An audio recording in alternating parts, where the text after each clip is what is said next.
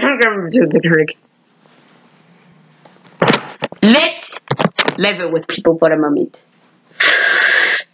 Howdy, hi, hi, hi, time to say it's hi. Beetlejuice. Though I know I should be wary. Still, I venture someplace scary. Ghostly hauntings I turn loose. Beetlejuice. Beetlejuice. Beetlejuice. I just like saying that way. Don't judge me! So what I am saying is, friends. Here's how it comes to. Beetlejuice. The cartoon. Now, if you know Derek the Bard, I was click a link under the description below to his video that will give a more detailed review ask to what the Beetlejuice standard is. All I want to talk about in my review is how I felt when I first introduced it. Well, same way that you guys are probably going to be. I got introduced by this guy named Derek the Bard, and I liked it. I, around the age when I found this, I was obsessed, literally obsessed with Michael Keaton because he was a star. A star beyond the ages. Whatever. Don't cut! Whatever. Even.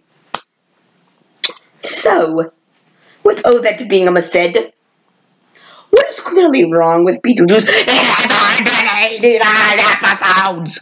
Yeah, it has 94 episodes! It's four seasons! So I will just, in this episode, because God knows I can't do all four seasons, I would just do the best of seasons and tell you what I thought. My favorite episodes were probably your favorite episodes. The Ghost of Edgar Allan Poe was my favorite. Um, my other favorite was an episode where he literally split his personality like he became a cell. It's weird. And another one was a parody of The Good Alien, I think, or something like that. I don't know, it's where he splits himself begin the good Beetlejuice and the bad Beetlejuice. It's weird. It's like Two Face and Two Face went on a rampage and he flipped his coin half the time. Something like that. And even they got a, a nick into the Twilight Zone, yeah. This show gave a stab at the Twilight Zone. Which is weird, because I never saw a Twilight Zone parody until that show. I think they called it the Nothing Zone or something. Lot of parodies in that show. Now that I think about it. My favorite characters were Beetlejuice and Jacques LaLean, who was a French skeleton. And my favorite line from him is, This is worse than the French Revolution! That legitimately makes me laugh, because if you know what the French Revolution is, that is hilarious. Another thing that this show used to do is literal translation. Like, for instance, he lives in a roadhouse.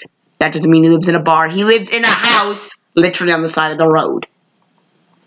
And there's a monster across the street who just close your eyes and do and trust me, who looks like Gossamer if who looks like Gossamer from the Looney Tunes if he had a, a Texan a Texas accent.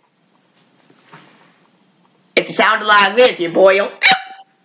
For some reason, he had a dog that I think was a hairy mutt. Don't quote me on that. So, why am I only talking about this? Again, 109 episodes. 94 episodes. I can't do all that. But since I do have time, I will talk about The Mask. The Mask was interesting because it was also a cartoon, but unlike Beetlejuice, where it was dark and weird and played by Danny Elfman, this was funny and kind of a cartoon. In fact, it was a cartoonish. In fact, it even made into a cartoon. I couldn't get grab a host of the Mask cartoon, so I will, I will, in the com, in the description below, I will give a theme song to both of these shows if they don't copyright me first, whatever. And, well, all I want to ask is, what do you guys think? Do you think I should review the mask? Or do you think I should do Beetlejuice? Tell me in the comment section below, my boils. And if you like, please like, comment, and please subscribe, because the subscribe button is very lonely. It needs friends, so does the like button.